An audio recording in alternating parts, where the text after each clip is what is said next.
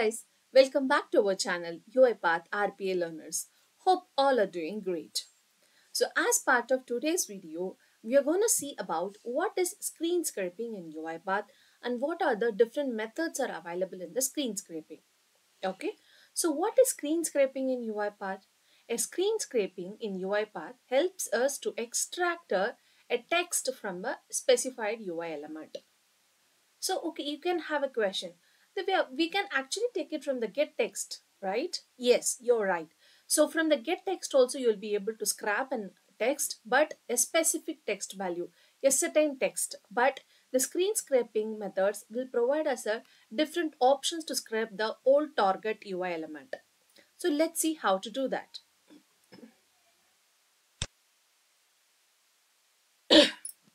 so in the UI path, we have an options called the screen scraping here. So this will enable us to extract the data from the specified UI element. For today's example, actually I'm going to use this RPA sample website. So in this website, let's see how what is actually scrapping it. Okay. So here, uh, why I have chosen this website is this website in this combo box, there are hidden values present in it. So when I show you different methods in UiPath, it will actually help you to understand how the scraping it works. Okay. So as I told you earlier, there are three different methods are available in the screen scraping. Native, full text and OCR. So the native method helps us to uh, scrap a visible text from the UI element. What is a visible text which is visibly um, you know available in your uh, screen. And what is it, uh, full text as its name indicates? So this is helpful for scrapping your a complete data from a UI element which is inclusive of your hidden values. What is OCR? So many of you have an idea about OCR. So this is optical character recognition. So OCR actually helps us to scrap the data from any of the image files. I mean to say, so this will consider the target UI element as an image and it will try to scrap the text value from it. So let's see an example of all the three and see how the scraping works. So let me open the website uh, application in my backend and I'll go to a screen scraping. I'll hit on screen scraping. I'm sorry.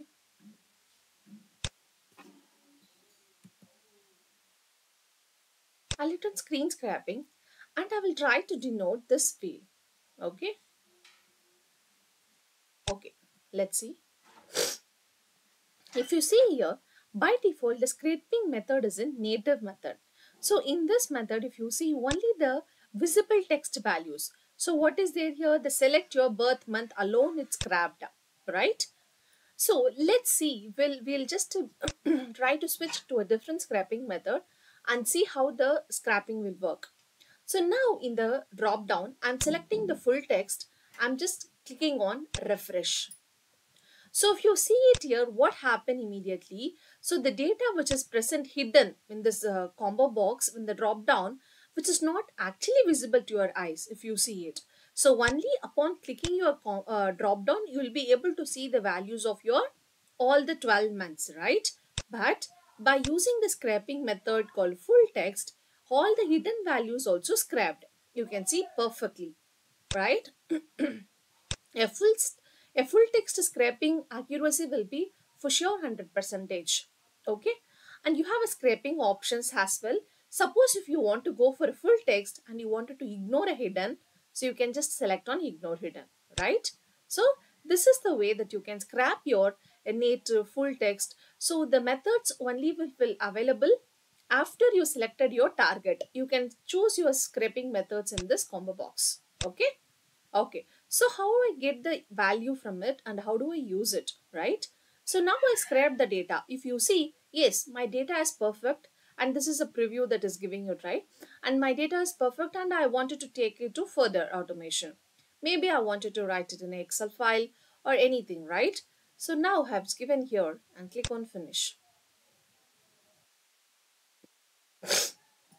what happened immediately? By default, like a data scraping, all the values, all the activities are already, you know, coming in automatically in your uh, designer panel, right? So, So when you click on a see get full text, so this means this is the activity which we used, which is nothing but our full text scraping method, a get full text method. So by default, the variable is created, right? So when you open it, so variable is created, select month, and this has the value of which is grabbed from there. So how do I view it? So let's see. So for the demo purpose, let me use a message box.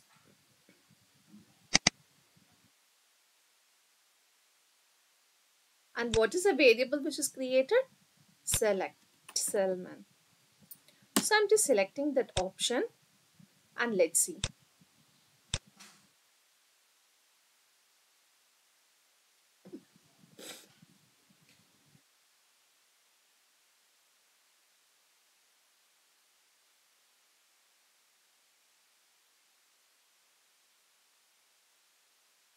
My program is running right now.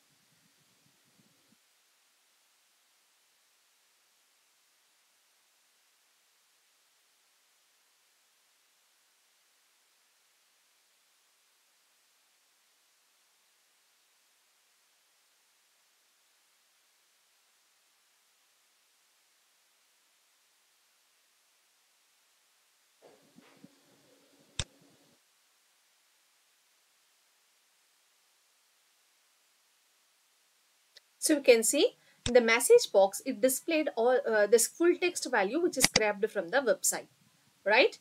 So this is the way that we can use your scraping methods. So I told you right that there is an one another option called the OCR method. Let's see an example of an OCR method as well. For that, I have one PNG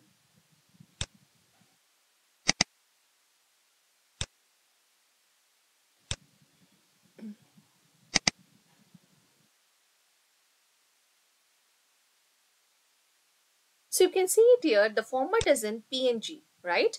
And there is a few data which is present here, the text values, right? Let's see how do I get it, uh, whether it is scrapping from this or not. So for your better understanding, I have deleted the previous one and I will click on screen scraping and this time let's target this PNG format.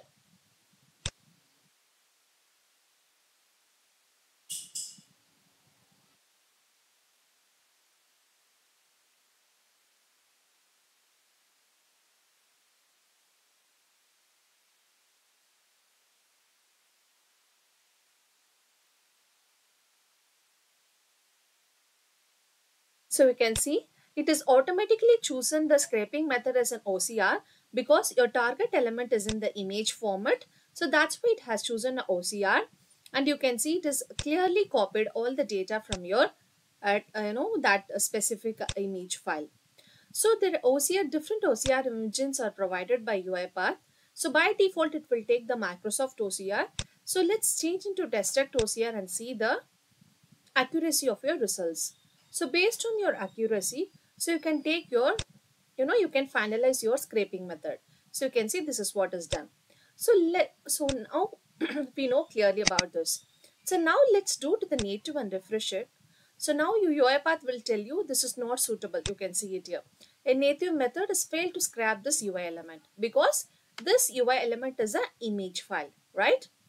Okay, fine. So this is the different ways that you can scrape in your screen scraping methods. To quickly reiterate from the beginning, a screen scraping is a method which is useful for extracting a text from a specified UI element. There are three different types are available.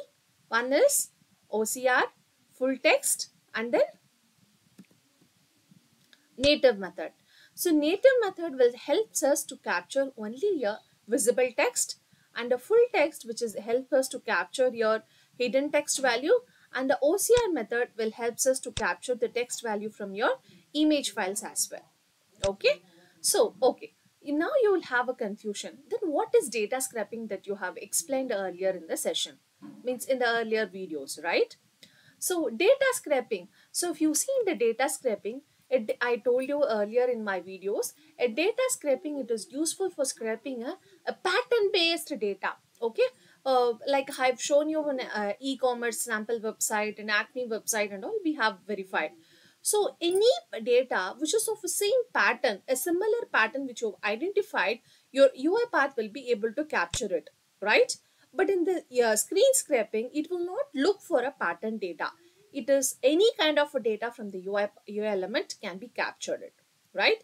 So just to quickly reiterate, so what happened in this, uh, you know, uh, let's try to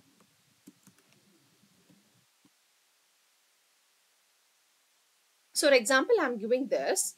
I'm opening the uh, you know link, uh, no uh, specific site for the search.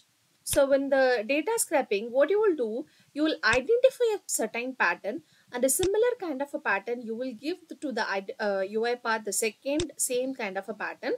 Then this will be able to identify if you see it here based on the pattern. So, this will identify a similar kind of an element. What so? What happened here? A data scraping will look for only a pattern based element. A screen scraping will look for any kind of an uh, text from a specific UI element. So that's a difference. Okay.